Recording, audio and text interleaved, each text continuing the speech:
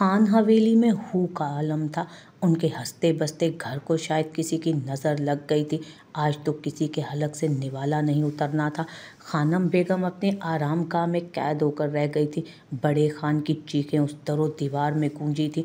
शायद उनको किसी गरीब की आह लग गई थी। ये हवेली जितनी खूबसूरत थी, उतनी गहरी राजदार भी थी। खान हवेली का छोटा और लाडला सपूत बदले की नज़र हो गया था। सुनने में आया था कि किसान के बेटे नसीर ने खान हवेली के लाडले को मारा इस वाक्य के कई चशमदीद गवाह भी मौजूद थे। जोहरान खान अपने भाई की मौत की खबर सुनता तूफ़ान किसी तेज़ी से हवेली आया था। अपने भाई के कातिल को मैं ज़िंदा नहीं छोड़ूँगा। जब से उसकी आँखें सुर्ख हुई थी, नसीर का बचना अब उसके हाथ से नामुमकिन था। सब्र से काम लो, इस काम के लिए जिरगा बिठाया है ना हमने। मैं किसी जिरगे को नहीं मानूँगा। वो अनजान तो नहीं था कि जिरगे में फैसले कैसे किए जाते हैं। एक बेगुनाह को लाकर उसके कलेजे को कैसे ठंडक मिल सकती थी तो मानो या ना मानो लेकिन यहाँ के फैसले ऐसे ही होते हैं। बेटे की मौत पर वो सख्त दिल हो गए थे। जिसम से एक बाजू जुदा कर दिया जाए तो इंसान यूँ ही तड़पता है। सूरज अपने पूरे आबोताब से दुनिया को रोशन करके एक नई सुबह का पैगाम दे गया था।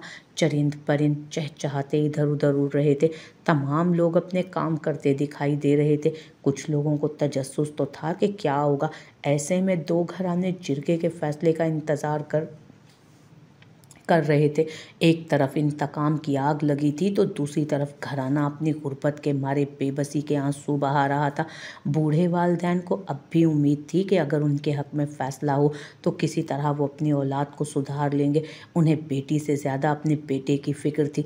बूढ़ा बाप अपने बिगड़े लगते जिगर को साथ लगाए रोए जा रहा था। करीब बैठी लड़की हारे हुए ज्वारी की तरह आँसू बहा रही थी। मुजरिम जो भी था फैसला उसकी ज़िंदगी का किया जाना था। उन्हें यकीन था, जिरगे में सालों से होता एक ही फैसला होगा। उनके बेटे को छोड़ दिया जाएगा। उनकी बेटी, उनकी एक लौती बेटी को वन्नी की फरसूदा रस्म की भेंट चढ़ा दिया जाएगा। वो लड़की जो ढेरों ख्वाब सजाए बैठी थी आँखों में, जिसने अपने ख्वाबों की सीढ़ियों पर कदम रखना था, अपने बाप का सहारा बनने का, अपने छोटे भाई को एक अच्छा मुस्तकबिल देने का, अपने बाप का खौफ दूर करने का जो हर वक्त उन्हें लगा रहता था। लेकिन सारे ख्वाब उसे कांच की किरचियों की माने टूटते हुए नज़र आ रहे थे।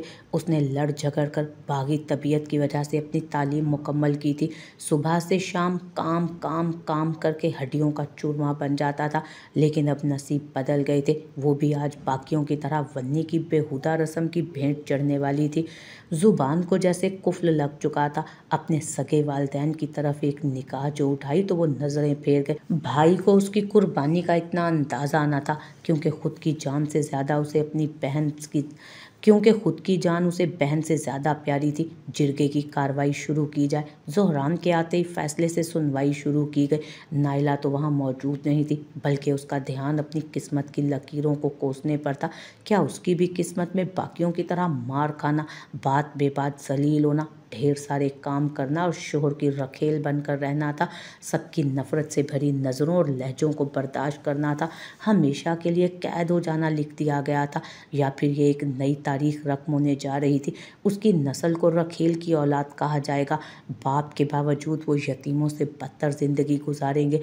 अल्लाह ने तो उसके लिए सगे वालदेन आजमाइश बना दिए थे। सगे रिश्तों से आजमाया जाना ज़्यादा ख़तरनाक होता है। खैर खुदा उसकी किस्मत कैसे पलटेगा ये तो आने वाला वक्त बता सकता था। हमें खून का बदला खून चाहिए। नसीर के माथे पर पसीने की नन्ही बूंदें चमकी। अचानक खेल बदलने पर दिल में खौफ ने घेरा डाला था। खून का बदला वन्नी की सूरत लिया जाता है, खान साहब, ताकि सारी ज़िंदगी कातिल के घर वाले सिसक सिसक कर मरे। ये सिर्फ़ खाम ख्याली बातें थी। जिनके वालदेन बेटे की गलती को कुर्बान कर दे, वो भला सारी ज़िंदगी का रोना क्यों रोएँगे? वो तो उसी दिन लड़की पर फातिहा पढ़ देते हैं। अम्मा अब्बा मैं कैसे रहूँगी आपके बगैर? कैसे? मैंने तो कोई जुर्म नहीं किया। अम्मा, तुम नसीर को पेश क्यों नहीं करती? जो असल सज़ा का हकदार है, वो रोए चले जा रही थी। शायद रोना उसका मुकद्दर बन गया था। मेरी धी, तू बड़ी सब्र वाली है। वहाँ के जुल्मों से तुम बर्दाश्त कर लेगी। तेरा भाई कितनी मन्नतों, मुरादों के बाद पैदा हुआ हमारे बुढ़ापे का सहारा वो उसे सीने से लगाए आँसू बहा रही थी और साथ साथ आहिस्ता आवाज़ में समझा भी रही थी, क्योंकि हमारे माशरे की रसूमात में जुल्म औरत पर ही होता है। लो, अभी से रोने लग गई इसे। इसे क्या पता कि हवेली में पहले भी एक वन्नी आई थी और मार दी गई। एक औरत सरगोशी में हँसते, दूसरी के कान में बोली, इतने संगीन मामले में भी कोई हंस कैसे सकता था? नायला ने खौफ सदा होते हुए माँ की चादर को थाम लिया। जोहरा उनकी बातों पर निकाह उठाकर उस आदमी को देखने लगी। शायद वो बाकी हवेली के लोगों से मुख्तलिफ़ था। हमें वन्नी ही चाहिए। बड़े खान ने अपने बेटे का फैसला मुस्तरद किया। वन्नी एक ऐसी रस्म है जिसमें मर्द की गलती का फंदा औरत के गले में डाल दिया। जाता। है जब अल्लाह ने कहा कि अपनी गलती की सज़ा कोई दूसरा नहीं भुगतेगा तो ये लोग आज भी अबू जहल की पैरवी कर रहे हैं। एक ऐसी रस्म जिसके ज़रिए दो ख़ानदानों में सुलह की खातिर जिरगा या पंचायत में हर जाने के तौर पर लड़कियाँ दी जाती हैं। असल में तो दुश्मनी में लड़की को इस हद तक मार दिया जाता है कि वो खुदकुशी कर लेती है।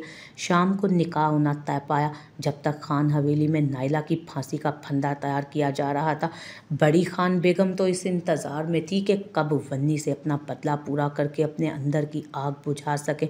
हवेली में पिछली नस्ल की कहानी फिर दोहराई जाने वाली थी, लेकिन ज़रा मुख्तलिफ़ अंदाज में बड़े खान के फैसले ने उसे हत्थे से उखाड़ दिया था। निकाह जैसे मुकदस रिश्ते को ऐसे कामों के लिए भला कैसे इस्तेमाल किया जा सकता है? वो अपनी ज़िंदगी में एक निकाह करने का ख्वाहिशमंद था जो लड़की उसकी ज़िंदगी में आने वाली थी, वो उसकी पसंद और चॉइस नहीं थी। उसके साथ इस घर में क्या सलूक किया जाना था, इससे कोई बेखबर ना था। तो क्या वो अपनी बीवी के साथ वो सब कुछ करने की सबको इजाज़त देगा? बाबा साईं, मैं नहीं करूँगा निकाह। उसकी आँखें जब से सुर हुई थी। लहजा भी बला का सा। जो नुकसान उसका हो चुका था, उसकी भरपाई के लिए औरत का इस्तेमाल करना उसकी मर्दानगी के ख़िलाफ़ था। अगर उसे पता होता कि ये जुल्म उससे करवाया जा रहा है तो कभी भी जिरगे में शिरकत के लिए आता ही ना। कानून के ज़रिए वो इंतकाम लेना चाहता था। कोने में खड़ी लड़की अपने बाप भाई की बहस पर आँसू बहा रही थी। अपने भाई का इंतकाम वो नसीर से लेने वाला था। अब तो वो उसका बड़ा मुजरिम था, जो गुनाह करने के बाद बेगैरत बनकर अपनी बहन को पेश कर रहा था। जोहरान खान, ये हमारा फैसला है और तुम्हें मानना पड़ेगा। उनका अंदाज दो टोक था। कैसा भाई था जो अपने भाई की मौत का बदला लेने को भड़का हुआ नहीं था? आप गलत कर रहे हैं, बाबा। क्यों इस गुनाह में मुझे भी शराकतदार बनाना चाहते हैं वो भी उनके दू बदू होता जवाब देगा। एक बेबस निगाह उस लड़की पर डाली जिसका पूरा वजूद काँप रहा था। बाप के आगे लड़ना नहीं चाहता था। अभी वो एक सदमे से गुजरे थे। हमारा फैसला कभी भी गलत नहीं होता। ये तो तुम कह रहे हो ना? अगर कोई और होता तो गुद्दी से ज़ुबान खींच लेते हम उसकी। सुर्ख आँखें लिए वो तेज़ आवाज़ में बोलते दरो दीवार हिला गए थे। ये तय था कि उस लड़की को वन्नी बनाकर यहाँ से ले जाया जाना था। अगर तुम नहीं करना चाहते निकाह तो ना करो, लेकिन याद रखना, इसके बाद हवेली से तुम्हारा कोई ताल्लुक नहीं रहेगा। आग के पेपर्स कुछ ही दिनों में मिल जाएँगे तुम्हें और इसका निकाह तुम्हारे सोतेले खान से करवा दिया जाएगा। उनका लहजा आपकी बार पुरसकून था। उसकी दुखती रग पर हाथ जो रख दिया था उन्होंने, जानते थे कि बेटे को कैसे दबाना है, लेकिन वो भी उन्हीं का बेटा था। जोहरान ये निकाह करने को सिर्फ़ इस खातिर मानने पर तैयार हुआ कि अगर किसी और से निकाह हुआ तो लड़की को शायद ज़िंदा दफन कर दिया जाएगा। उस लड़की की इज़्ज़त की खातिर उसने हामी भर ली। सोचते हुए जोहरान खान ने लब भींच लिए। उसका बाप भी पहुँचा हुआ खिलाड़ी था आखिर। लेकिन याद रखिएगा, अगला वार मेरा होगा। मुट्ठी को सख्ती से भींचे, शिद्दत गिरिया से सुर्ख होती आँखें लिए। वो कहते ही लंबे डग भरता वहाँ से निकल गया। पीछे खान के लब मुस्कुराहट में ढले। नाइला को अब भी इंतज़ार था। वो खान यहाँ से चला जाएगा और फैसला बदल देगा। लेकिन ऐसा कुछ नहीं हुआ। माँ ने लाल चादर उसके सर पर उड़ा दी। आखिरी बार धुंधली आँखों से उसने इर्द गिर्द देखा। जिरगे के बड़े मुज्ज़ लोग तैयार बैठे थे। निकाह की कार्रवाई शुरू की गई।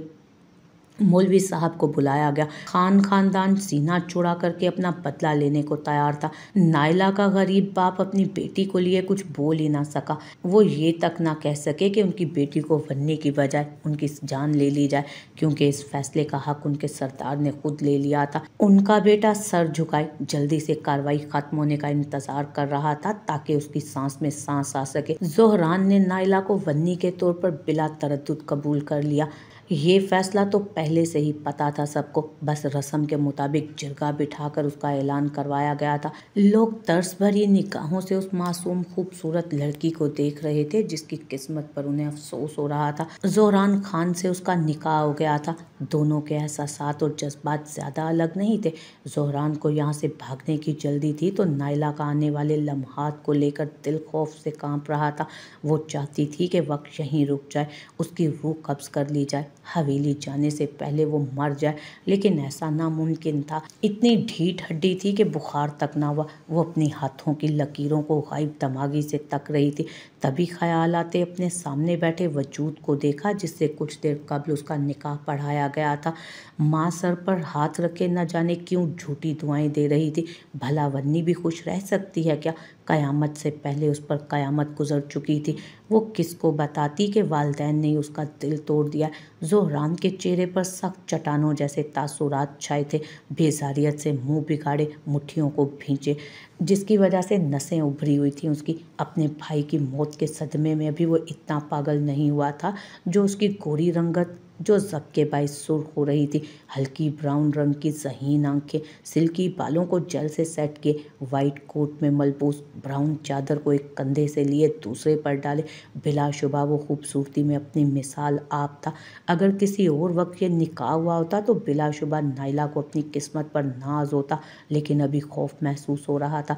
जोहरान नफरत भरी निकाह उस पर डालते वहाँ से निकल कर चला गया था उधर से। वो जो अपनी आने वाली ज़िंदगी को सोचने में इतनी महव थी कि किसी के पुकारने पर सर उठाया। देखने से वो तीस पैंतीस साल के लगभग औरत उनकी मुलाजमा महसूस हो रही थी। उसकी आवाज़ से नायला पहचान चुकी थी। यही वो औरत है जो वन्नी के मरने का ज़िक्र कर रही थी। हवेली में ना जाने ऐसे कौन से राज अभी दफन थे जिससे पर्दा उठना बाकी था। माँ बाप उसे छोड़कर दूर खड़े हुए। नायला ने फ़ौरन अपने इर्द गिर्द नज़रें दौड़ाई तो सब जा रहे थे। निकाहें फ़ौरन बाहर की जानब गईं जहाँ उसकी माँ बेबसी से, जहाँ उसकी माँ बेबसी से आँसू बहाते हुए बाहर की जानब उसे ही देख रही थी। अब वो खान हवेली की मिल्कियत थी। किसी को मिलने की इजाज़त ना थी उससे। खान हवेली के दो बड़े बेटे थे, शमशेर खान और शहरियार खान। शमशेर खान अपने खानदान के बड़े सपूत थे, जिसकी वजह से कम उम्री में उनके सर पर गद्दी की जिम्मेदारियाँ डाल दी गई थी। पूरे गाँव के फैसले वही लेते, जबकि शहरियार खान अपनी लाउबाली ज़िंदगी गुजार रहे थे। सारा दिन दोस्तों के साथ गाँव की लड़कियाँ छेड़ना फिर जब उन सरगर्मियों से बोर होते तो शिकार को निकल जाते। दोनों भाइयों की तबीयत में ज़मीन आसमान का फ़र्क था। शमशेर खान को बचपन से ही अपनी खालाजात कज़न से मंसूब कर दिया गया। लेकिन फिर अचानक से बड़े खान का दिल गाँव की गरीब लड़की के लिए मचलने लगा। जानबूझकर अपनी गाड़ी को उन रास्तों पर डाल लेते जहाँ से उसका गुजर होता था। सबके समझाने पर भी बाज ना आए। आप हमारे सामने एक गैर लड़की के लिए लड़ रहे हैं। शमशेर खान की वालदा भड़क उठी थी। ऐसी लड़कियों को अपने घर, ऐसी लड़कियों को वो अपने घर की कनीज बनाती थी। उनके सीने में आग जल रही थी कि कहीं वो लड़की किसी और की ना हो जाए। अम्मा, मुझे इस लड़की से मोहब्बत हो गई है। कई बार इसका रास्ता रुका, लेकिन वो नज़रें फेर कर गुजर जाती थी। शायद उसे हवेली के खानों पर एतबार नहीं था। अभी वो बात मुकम्मल करती कि उनका नौकर हाँपता कामता अंदर आया। गुलाम बख्श, तहजीब भूलते जा रहे हो क्या तुम? शमशेर को उसकी मुदाखलत जहर लगी थी। वो बड़े खान सूखते गले को उसने तर किया था। अपने साथ ही एंबुलेंस का सायरन बजा। कौन आया? गुलाम बख्श। कौन आया है गुलाम बख्श? वो दौड़ते हुए बाहर को भागे थे। शहरियार खान को सांवली लड़की के बाप ने मार दिया था। उस दिन जिरगे में एक नया फैसला हुआ। शमशेर खान को अपनी मोहब्बत तो मिली, लेकिन एक वन्नी की सूरत में वो चीखती चिल्लाती थी कि शहरियार खान ने उसकी इज़्ज़त पर हमला किया था, जिसकी वजह से उसके बाप को ये कदम उठाना पड़ा। शमशेर खान उसे ब्याह कर अपने घर तो ले आया, लेकिन बड़ी बेगम ने कभी उसे बहू का दर्जा नहीं दिया। हर वक्त गधों की तरह काम करवाती। शमशेर खान अपनी छुपी मोहब्बत की वजह से चुप था। फिर अचानक बड़ी बेगम ने शमशेर खान की दूसरी और ख़ानदानी शादी का फैसला सादिर फरमाया उस दिन वो टूट गई, क्योंकि उसे लगा कि उसका शोहर उससे मोहब्बत करता है। वो कभी दूसरी शादी का सोच भी नहीं सकता। शमशेर खान ने ना सिर्फ़ दूसरी शादी की, बल्कि शादी के साल बाद उनके घर जोहरान खान ने दस्तक दी। वही वन्नी की कोख से शमशेर खान का बेटा पैदा हुआ, जिसको शमशेर खान ने देखना भी कवारा ना किया था। उनकी मोहब्बत यकदम दिल से उतर चुकी थी। वैसे भी जो चीज़ मैसर हो जाए, उसकी कदर थोड़ा ही रहती है। बाकी नूर ने अपनी जलालत को ख़त्म करते हुए खुदकुशी खामोशी कर ली, जो एक गहरा सकूत छोड़ गई। वो शिकस्ता कदमों से उसी मुलाजमा के हम कदम हुई और एक गाड़ी में जा बैठी। कोई आम रुखसती थोड़ा थी, जो बाकी दुल्हनों की तरह उसका इस्तकबाल किया जाता। जोहरान ने हैरानी से अपने बराबर में बीवी को देखा। उतरे इस गाड़ी से, आपको किसने कहा कि मैं आपको साथ बिठा कर ले जाऊँगा? झुंझला चुका था वो, तभी बगैर समझे उसका दिल दुखा गया। वो जो मुँह हाथों में दिए रो रही थी, इतने सख्त लहजे पर डरते हुए सर उठाया। अपने आप को मज़बूत ज़ाहिर करते दिल में कहा कि खैर है खौफसदा नज़रों से उस शख्स को देखा जिसके निकाह में उसे दिया गया था। कहीं वो उसे यहीं तो कोई कड़ी सजा नहीं देने वाला था। इस गाड़ी से उतरे और किसी और गाड़ी में हवेली जाएँ।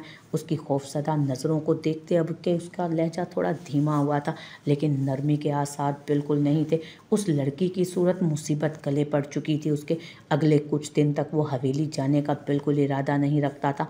कानून के ज़रिए नसीर से इंतकाम तो लेकर ही रहेगा वो। नगमा, इसे दूसरी गाड़ी में बिठाओ। उसके डरे सहमे वजूद को देखते वो मुलाजमा को आवाज़ दे गया। नाइला जैसे दिमागी तौर पर जकड़ी हुई थी, तभी उसके हाथ पाँव हिलने से इनकारी थे। जोहरान खान के कहने की देर थी कि नगमा ने उसे निकाल कर दूसरी गाड़ी में बिठा दिया। उसके उतरते ही जोहरान खान अपनी गाड़ी में बैठा। हवेली की बजाय उसने दूसरी तरफ़ रुक किया ताकि वो बाहर निकल सके।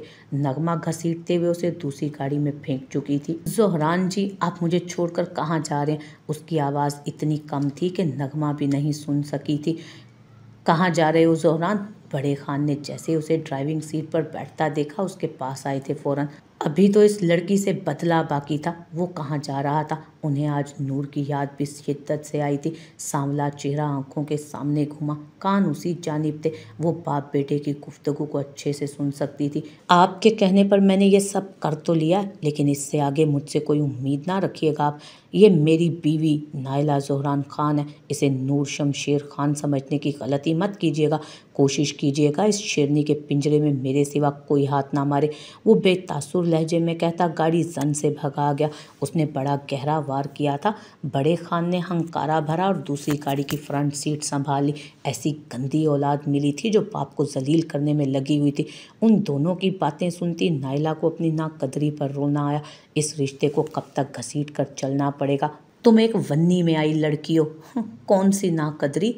लम्हे में वो तलखी से अपने आप से मुखातिब हुई। उसने खुद को ऐसा बनाना था कि किसी की बात दिल पर लगे ही ना। कुछ देर के सफ़र के बाद गाड़ी अपनी मंजिल पर पहुँच चुकी थी। बाहर आओ, वही मुलाजमा सख्त लहजे में कहती, नीचे उतरी।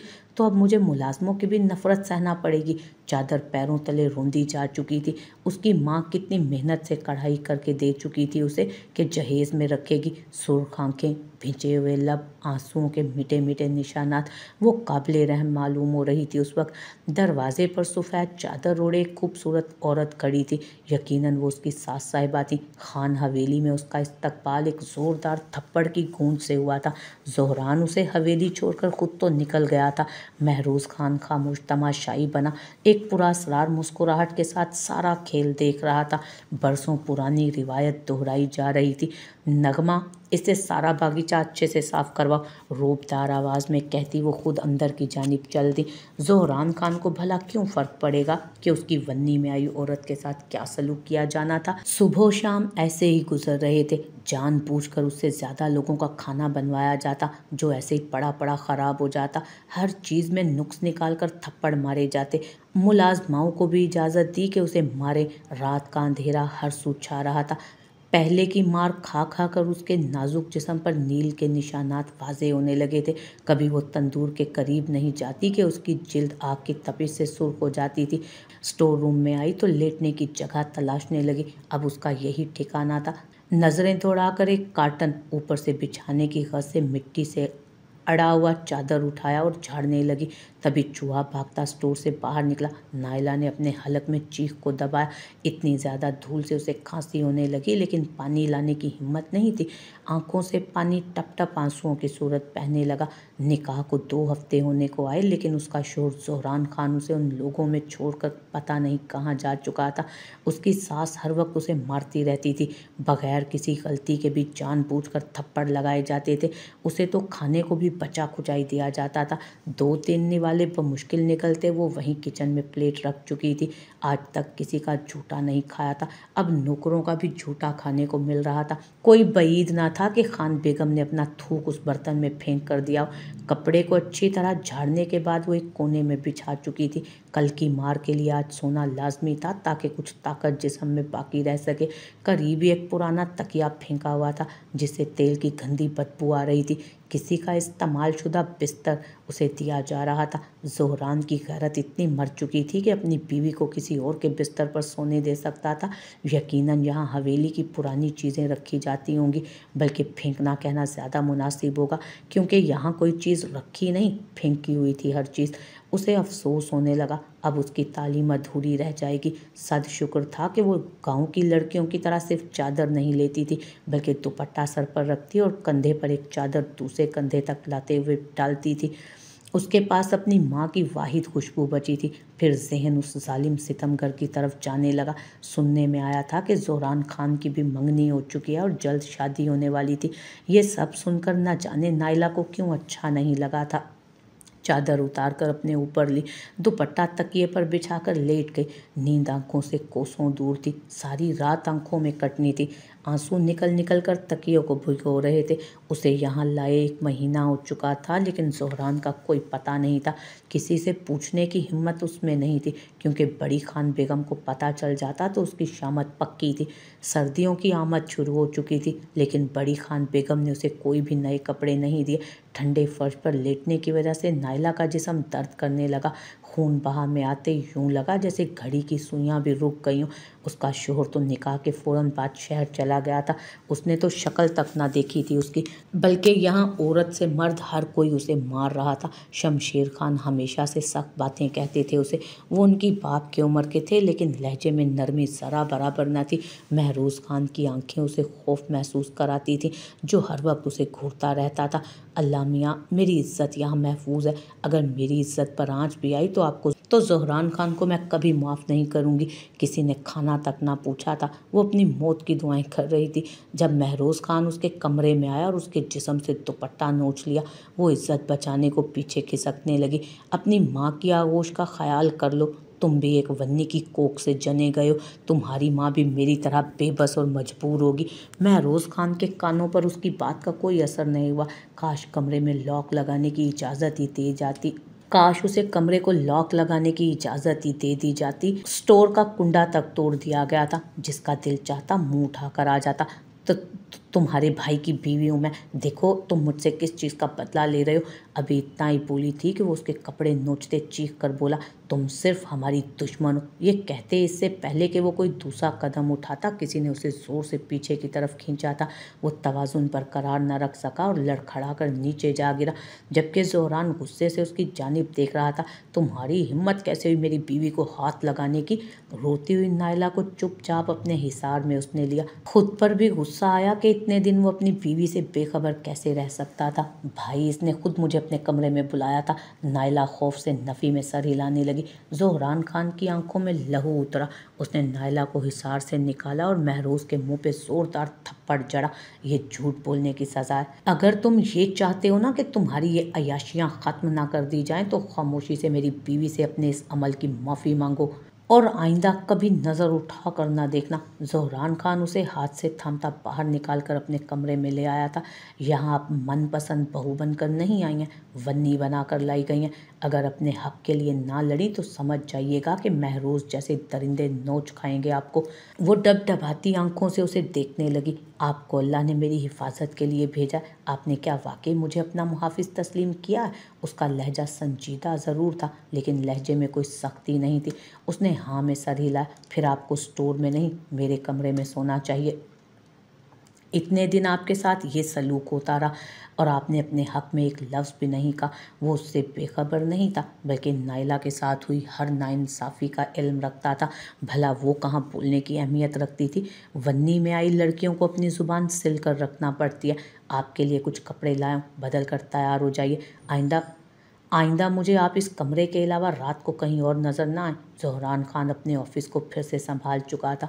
दिलो दिमाग अब तक नाइला की सोचों से बंधा था। उस लड़की की ज़िंदगी के साथ वो नहीं खेल सकता था। अभी उसके दिल में खौफ खुदा बाकी था। वो लड़की अब उसकी बीवी बन चुकी थी। उसकी सारी जिम्मेदारियाँ उसके कंधों पर थीं। उसे ऑफ़िस में अपने ख़ास मुलाजिम की कॉल आई जो नाइला की खबरगिरी करने जहरान ने तैनात किया था। हाँ सुनाओ, खैरियत है? रात के इस पहर, रात का आखिरी पहर था। काफ़ी हैरान हुआ था वो कि आखिर क्या काम हो सकता है? खान साहब, वो बीबी स्टोर में महरूज खान की जाने की नीयत थी। जोहरान की नींद भग से उड़ी। अपने भाई के चले जाने के बाद उसके बिज़नेस में काफ़ी लॉस हुआ था उसे। इसलिए हवेली जाना मुमकिन न था। वन्नी की इज़्ज़त लूट ली जाती थी, लेकिन किसी को परवाह नहीं होती थी। लेकिन किसी को कोई ख़ास परवाह नहीं होती थी। तुम नज़र रखो, मैं अभी आता हूँ। बिजली किसी तेज़ी से वो जैसे हवेली आया दिल में शुक्र अदा किया। अगर वो ज़रा सा भी लापरवाही बरतता तो आज उसकी इज़्ज़त के साथ क्या हो जाता। अपने कमरे में लाकर उसने बिल्कुल ठीक फैसला किया था उसे। कम अज़ कम उसके कमरे में लॉक और कैमरे तो थे। नायला, नया आरामदेह सूट पहनकर खुद को बहुत हल्का महसूस कर रही थी। महरोज खान का डर अंदर कहीं जा सोया था। जोहरान यहाँ आते ही काम में मसरूफ़ हो चुका था। रात के इस पर कौन सा ज़रूरी काम था जो लैपटॉप को रखने का नाम नहीं लिया जा रहा था? नाइला को अपने शोर की मसरूफियात पर तरस आया कि न जाने वो अपने लिए वक्त भी निकाल पाते हैं या नहीं। आप खान हवेली के बाकी लोगों से अलग हैं। आपने मुझे सज़ा क्यों नहीं दी? जानना चाहती थी कि उसके सगे भाई की मौत हुई, लेकिन जोहरान ने एक भी जली कटी बात नहीं की थी। उससे अब तक जोहरान की नरमी का नतीजा था कि वो बिला झिझक कुछ भी पूछ लिया करती, क्या आपने मेरे भाई का कत्ल किया है? संजीदगी से पूछा गया। नायला को खुद पर ताव आया। आखिर पुराने जख्म दोहराने का क्या फ़ायदा था? नहीं, नसीर को मैं ऐसे माफ़ नहीं करूँगा। जेल की सलाखों के पीछे जाकर रहेगा वो। उसके बरक्स आपको मैं ऐसे फेल की सज़ा देने का इख्तियार नहीं रखता हूँ, जो जुर्म आपने किया ही ना मैंने कुरान को बड़ी तफसील से पढ़ा। मेरे घर वाले आपके साथ जो भी सलूक करते हैं, उसके लिए उन्हें माफ़ कर दीजिएगा। वो आपके मुजरिम है। वो शख्स कितना खूबसूरत था, जो कुछ भी कहे बगैर सब कुछ कह गया था। नाइला के दिल के सारे घाव भर गए थे। आप क्या समझौते के तौर पर यह रिश्ता निभाएँगे? दिल में डर बैठा था। इतना हसीन शख्स छीन ना लिया जाए। पहले कौन सा उसे नायाब चीज़ें मैसर हुई थी? मैं बहुत प्रैक्टिकल इंसान हूँ। आपको पहली बार मैंने निकाह के वक्त देखा था। डरी, सहमी, कबूल है कहती। मुझे ये सोचने पर मजबूर कर गई थी कि हमारे बच्चों का क्या बनने वाला मैं शरीफ व नफ्स इंसान हूँ। एक बीवी अफोर्ड कर सकता हूँ। पसंद भी धीरे धीरे वो बनती जा रही थी। नाइला का चेहरा यकदम सुर्ख हुआ। जोहरान इतना बेशरम भी हो सकता था। ऐसे शर्मा क्यों रही हैं? अभी से मेरा बच्चों का कोई इरादा नहीं। पहले नसीर को उसके जुर्म की सज़ा दिलानी है। नाइला सर हिलाती सोफे पर अपना बिस्तर सेट करने लगी। उसके लिए इतना ही बहुत था कि सर्दी में कंबल और नरम बिस्तर मिल गया था। जोहरान खान की बराबरी में लेटने का वो सोच भी नहीं सकती थी। नसीर को अपनी बहन का ज़रा ख्याल नहीं था। माँ बाप ने समझाने की बड़ी कोशिश की कि अब तुम्हारी बहन कुर्बान कर दी गई है। हमारे पास आगे कुर्बानी के लिए कोई दूसरी बेटी नहीं बची। अपनी हरकतों को सुधार लो। अपने आवारा दोस्तों के साथ उठना बैठना छोड़ दो। अब्बा, तुझे तो खबर है कि मुझे खेती बाड़ी नहीं आती। मैं शहर जाकर अपना कारोबार करना चाहता हूँ। बाप से पैसे निकालने का ये नया मंसूबा था। माँ ने दिल में शुक्र अदा किया कि किसी तरह ही सही बेटे ने कुछ सोचा तो सही, लेकिन पुत्र, हम भला कहाँ से इतनी बड़ी रकम का इंतज़ाम करेंगे? बाप समझदार था, तभी बात की असल तय को जानने के लिए ये बात कर डाली। आखिर को जान तो सके कि उसके बेटे के दिमाग में कौन सा नया मंसूबा चल रहा है। भला आप लोगों ने नायला की शादी के लिए जेवर जो बना कर रखे थे, वही मुझे दे दे। अब तो खैर से उसकी शादी बड़े अमीर ख़ानदान में हुई है। उसे हमारे जेवरात की क्या ज़रूरत? मत भूलो कि तुम्हारे कर्मों की सज़ा झेल रही है मेरी बेटी। ठीक कहा तुमने। अब ऑफ़िस अब उसे भला जेवर की क्या ज़रूरत होगी? क्योंकि अब तो वो वन्नी बन गई ना। वन्नी को तो लोहे की जंजीरें पहना दी जाती हैं। नसीर ने बेजार मुँह बनाकर पूरी बात सुन ली। आखिर को जेवर का सवाल था, वरना वो आगे से बदतमीज़ी करने से बाज ना आता। आप भी क्या पुरानी बातों को लेकर बैठ जाते हैं? जोहरान खान बाकी सब की तरह नहीं है। अल्लाह खैर करेगा, उसके नसीब अच्छे होंगे। अगर ऐसे ही वो वाक़ याद करते रहे तो ये आगे कैसे बढ़ेगा? माँ ने फ़ौरन तरफदारी की। अपने बेटे का गुनाह बार बार याद करके जब उनकी फूलों जैसी बेटी उनकी आँखों के सामने अपनी आँखों में शिकायतें भरकर हवेली रुखसत हो गई थी। दिल में कई अंदेशे थे। अभी नायला का पाप कुछ कहता कि दरवाजे पर ज़ोर ज़ोर से दस्तक होना शुरू हुई। कौन है? पाँव में जूती उड़सता वो बाहर निकला। गेट खोलकर देखा तो सामने पुलिस खड़ी थी। फिर से दिल में धड़का उठा के कहीं नसीर ने कोई नया गुल तो नहीं खिला दिया। पहले ही रोटी की जंग लड़ रहे थे। जोरान खान ने उनसे सारी ज़मीनें छीन ली थी। आप किस सिलसिले में आए हैं। उसने घबरा कर पूछा, अबे, इतनी बातें ना पूछ। जल्दी से नसीर को बाहर निकाल। नसीर के कान खड़े हुए। माँ भी रोने लगी। वो भागने की तैयारी में था कि किसी तरह वहाँ से निकल आए। सर, आप बताएँ तो सही, मेरे बेटे ने अब ऐसा क्या कर दिया? नसीर भाग नसीर भागने लगा, लेकिन पुलिस एहलकार ने पहले ही घर को चारों तरफ़ से घेरा डाला हुआ था।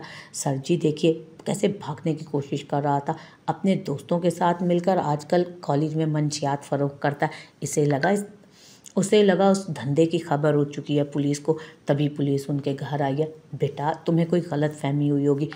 मेरे बेटे ने आवारा दोस्त भी छोड़ दिया। अब ये शहर में काम करना चाहता है। तुम क्यों पकड़ने आयो? नायला की माँ चादर से सर को ढकती जल्दी से बाहर आई। औरतें दरवाज़ों के पीछे से मुँह दिए पूरी कार्रवाइयों को हैरानी से देख रही थी। माँ जी, आपके बेटे पे जोहरान ने अपने भाई के कत्ल का मुकदमा दर्ज कराया। इतना सुनते ही नसीर भी शोर मचाने लगा। इस जुर्म की सज़ा तो उन्हें मिल चुकी है। नसीर का बाप भागता हुआ खान हवेली की जानब गया ताकि हवेली वालों से सवाल कर सके। पुलिस ज़ोर ज़बरदस्ती करती उसे गाड़ी में डाल चुकी थी ताकि खान ताकि थाने में जाकर मज़ीद तफ्तीश की जाए। जोहरान के हमरा नाइला को नीचे उतरता देख महरोज़ के चेहरे पर गहरी मुस्कुराहट आई थी। रात की मार खाने के बावजूद वो ढीठ बना नाश्ते की टेबल पर पेट पूजा कर रहा था। जोहरान, तुम मेरे लाडले बेटे हो। इसका मतलब ये नहीं कि जो चाहे करो। इस लड़की को नए कपड़े देने का इख्तियार तुम्हें किसने दिया? जोहरान की माँ हत्थे से उखड़ चुकी थी। अपने बेटी के कातिल अपने बेटे के कातिल की बहन को अपने घर में इतना खुश वो कैसे देख सकती थी? खान बेगम, आपका दिल दुखाने का मैं सोच भी नहीं सकता। ये बात भी सच है कि किसी और के जुर्म की सज़ा, किसी और को देना भी एक जुर्म है नाइला बेगुनाह असल कसूरवार नसीर है जिसको मैं जेल की सलाखों तक पहुँचा कर रहूँगा, जबकि शमशेर खान खामोशी से बैठे नाश्ता कर रहे थे। एक महीने की जिदोजहद के बाद आखिरकार जोहरान ने उन्हें अपने फैसले पर मना ही लिया। कहीं ना कहीं नूर बेगम का नाम लेकर उन्हें ब्लैकमेल किया गया था। इसे कहो, मेरी आँखों के सामने ना आया करे। वो फर्मा बरदारी से सर हिलाकर नायला को किचन में जाने का इशारा कर गया। तभी बाहर नायला के बाप की आवाज़ें सुनाई दी। जोहरान खान, जो तमाशा तुमने लगाया ना, इसको जवाब भी तुम ही जा कर दो। वो खामोशी से बाहर की जानब चल दिया। आप बड़े लोग अपने बेटे आप बड़े लोग अपने बेटे की मौत का बदला इसे वन्नी बनाकर ले चुके हैं। फिर भला मेरे बेटे को गिरफ़्तार करवाने का क्या मकसद था? क्या आप लोग जिरगे के फैसले को नहीं मानते? ऊँची आवाज़ में बात करते उन्होंने ख़ास ख्याल रखा कि कोई गुस्ताखी ना हो, क्योंकि जहरान उनकी वाहिद रास्ता था जो उनके बेटे को छुड़वाने क्योंकि जहरान खान वो वाहिद रास्ता था जो उनके बेटे को छुड़वा सकता था। मुजरिम की सज़ा अब से मुजरिम को ही मिलेगी। मेरे भाई के कातिल को मैं ऐसे यूँ खुलेआम नहीं घूमने दे सकता। वो हैरानी से उसे देखने लगे। अपना फैसला जिरगे में लेकर जाना था ताकि वही जोहरान खान को समझा सके। ठीक है, फिर मेरी बेटी को वापस कर दो। हमने उसकी शादी, हम उसकी शादी नहीं करवाना चाहते तुमसे। खान बेगम ने सकून का सांस लिया, लेकिन जोहरान ने नफ़ी में सर हिला। अगर नायला खुद आपके साथ जाना चाहती है तो जा सकती है, लेकिन मैं इसे तलाक नहीं दूँगा। नायला का दिल ज़ोर से धड़का था वो उन वालदेन के भरोसे वापस उस घर में कैसे चली जाती? तुम मेरी बेटी पर मजीद जुल्म नहीं कर सकते हो। ये कैसा इंसान हुआ कि खान खानदान के एक बच्चे का कत्ल हुआ और मेरे दोनों बच्चे मुझसे छीन लिए गए। नज़ीर की हड्डियों का अच्छा खासा चूरमा बना दिया गया था, क्योंकि उसने अपना जुर्म पहले वार में कबूल कर लिया गया, कर लिया था। क्योंकि उसने अपना जुर्म पहले वार में कबूल कर लिया था। यहाँ से निकलकर भाग जाना चाहता था। जिरगे के लोगों को बिठाकर यही फैसला किया गया कि वन्नी हुई लड़की को वापस भेज दिया जाए। नायला, चल हमारे साथ। तुझे इस हवेली में मज़ीद नहीं रहने देंगे। नहीं, अब्बा, मैं मज़ीद तलाक का दाग नहीं लगवाना चाहती खुद पर। आप लोगों ने तो मुझे बेटे पर कुर्बान करके फातिहा पढ़ ली थी ना मुझ पर। अब मैं उस घर में वापस नहीं जाऊँगी। अपने शोहर को छोड़कर मैं कहीं नहीं जाऊँगी। जहरान ने फ़खर से अपनी बीवी को देखा तो उस फैसले में उसके साथ खड़ी थी वो। जोहरान ने कुछ भी हकीकत नायला से छुपाई नहीं थी, बल्कि उससे वादा किया था कि हवेली में उसे वही मकाम दिलाएगा जो एक बहू का होना चाहिए। नसीर के वालदेन सर पकड़ कर बैठ चुके थे। अदालत ने नसीर को फांसी की सज़ा दी थी।